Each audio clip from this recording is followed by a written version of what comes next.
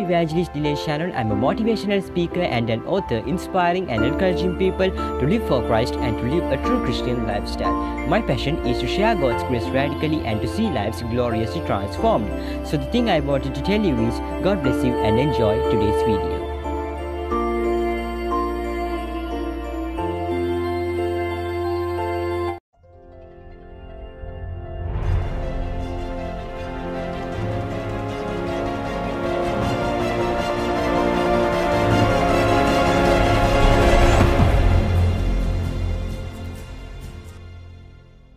Hey guys, may God bless you. Welcome to another Bible study session. Welcome to day one of Elijah the Prophet's Bible study. Today we'll be going to discuss some important parts and incidents from Elijah's life. So, my dear friends, before starting the Elijah's Bible study, today I would like to discuss with you the kings, the list of the kings who have ruled in Israel after King Solomon, son of King David, to the beginning of the story of Elijah the Prophet. After king after the death after the death of King Solomon, his son Rehoboam became king of Judah. After that, Abijah became king of Judah. After that, Asa became king of Judah. After that, Nadab became the king of Israel. After that, Baasha became the king of Israel. After that, Elah became the king of Israel. After that, Zimri became the king of Israel. After that, Omri became the king of Israel. After that, Ahab becomes becomes the king of Israel. So, my dear friends, this is the list of the kings who have ruled in Israel after the death of King Solomon, son of King David, to the beginning of the story of Elijah the prophet. Now, we'll be going to read a thing that Ahab had done, a very wicked thing. It is 1 Kings chapter 16 verse 33. In the Bible tells us Ahab also made an Asherah pole and did more to provoke the Lord, the God of Israel, to anger than did all the kings of Israel before him. And my dear friends, King Asa, King Asa had done uh, a thing. Uh, Asa did what was right in the eyes of the Lord, as his father David had done. He had done the correct things. We should always do the right things, my dear friends. He had done, King Asa had done the things what was what are right in the eyes of the Lord, as his father David did. And my dear friends, now we'll be going to start the story of Elijah the prophet. It is 1 Kings chapter 17, verse 1 to 24. The topic is Elijah fed by ravens. Now Elijah the Tishbite from Tishbe in Gilead said to Ahab, As the Lord the God of Israel lives whom I serve, there will be neither dew nor rain in the next few years except at my word. Then the word of the Lord came to Elijah Leave here, turn eastward, and hide in the Kerith ravine, east of the Jordan. You will drink from the brook, and I have ordered the ravens to feed you there. So he did what the Lord had told him. He went to the Kerith ravine, east of Jordan, and stayed there. The ravens brought him bread and meat in the morning, and bread and meat in the evening, and he drank from the brook. Now we'll be going to read the widow at Zarephath. Sometime later, the brook dried up because there had been no rain in the land. Then the word of the Lord came to him Go at once to Zarephath of Sidon and stay there. I have commanded a widow in that place to supply you with food. So he went to Zarephath. When he came to the town gate, a widow was there gathering sticks.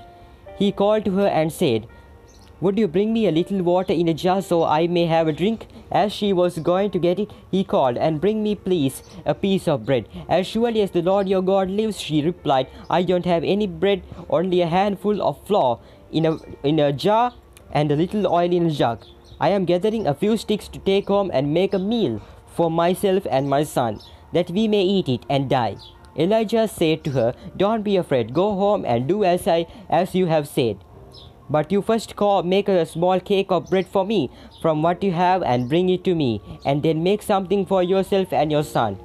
For this is what the Lord, the God of Israel, says The jar of flour will not be used up, and the jug of oil will not dry. Will not run dry until the day of the law until the until the day the Lord gives rain on the land. She went away and did as Elijah had told her. So there was food every day for Elijah and for woman and her family. For the jar of flour was not used up, and the jug of oil did not run dry, it, in keeping with the word of the Lord spoken by Elijah. Sometime later, the son of the woman who owned the house became ill. He grew worse and worse, and finally stopped breathing. She said to Elijah, What do you have against me, man of God? Did you come to remind me of my sin and kill my son?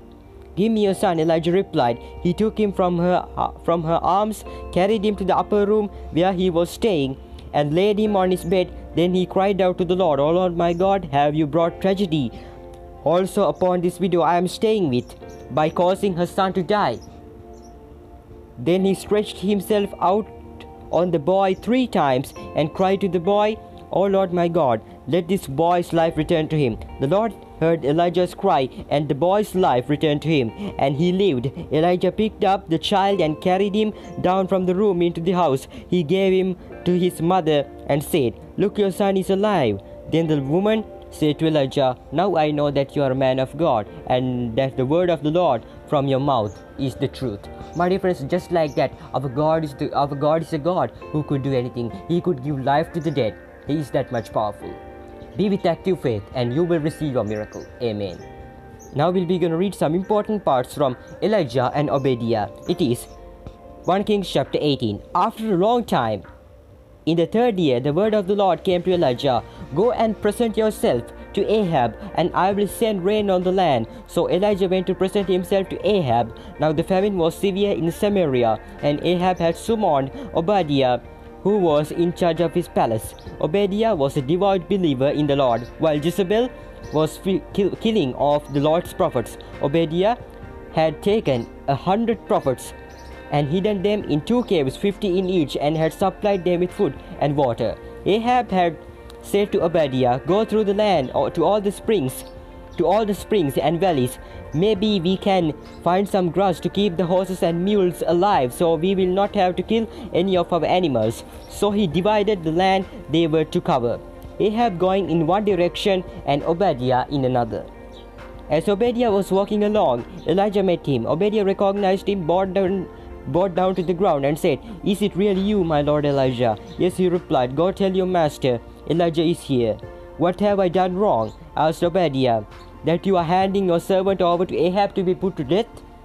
As surely as the Lord your God lives, there is not a nation or kingdom where my master has not sent someone to look for you. And whenever a nation or kingdom claimed you were, you were not there, he made them swear they could not find you. But now you tell me to go to my master and say, Elijah is here. I don't know where the Spirit of the Lord may carry you when I leave you. If I go and tell Ahab and he doesn't find you, he will kill me. Yet I, your servant, have worshipped the Lord since my youth. Haven't you heard, my Lord, what I did while Jezebel was killing the prophets of the Lord? I hid a hundred of the pro Lord's prophets in two caves, fifty in each, and supplied them with food and water. And now you tell me to go to my master and say, Elijah is here, he will kill me. Elijah said, As the Lord Almighty lives, whom I serve, I will surely present myself to Ahab today. Just like that, my dear friends, you should never be worried. You should never be discouraged. You should never get feared because God will definitely help you overcome the difficult situation that you are facing. God will give you total relief. God will give you total freedom. God will give you total independence, my dear friends. We are believing in the trustworthy, almighty, and, omnip- and omnipotent God. Thanks for watching and God bless you. See you in the next video. May the grace of our Lord Jesus Christ be with you in all the days of your life. Amen. And God bless you, my dear friends, richly.